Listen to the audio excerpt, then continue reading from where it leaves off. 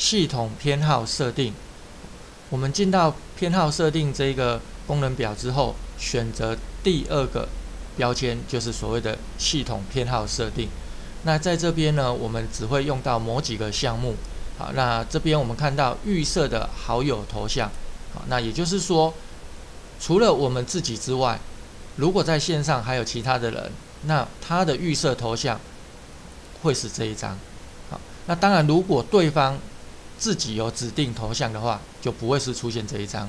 好，所以如果呢，啊，别人没有指定的状态，我们也可以啊帮他挑。不过呢，这一个预设的头像是统一固定的啊，也就是说。当我们线上出现了五个这个同学，但是呢，其中有两个人他有自定头像，好，只有三个人没有预自定头像的话，那另外的那三个人啊，就通通都是我们指定的这一张。好，那再来呢，有一个地方是这个部分啊，使用 Enter 键来传送讯息啊，如果我们有打勾的话，我们在打完字之后按下 Enter。那我们的讯息会送出去。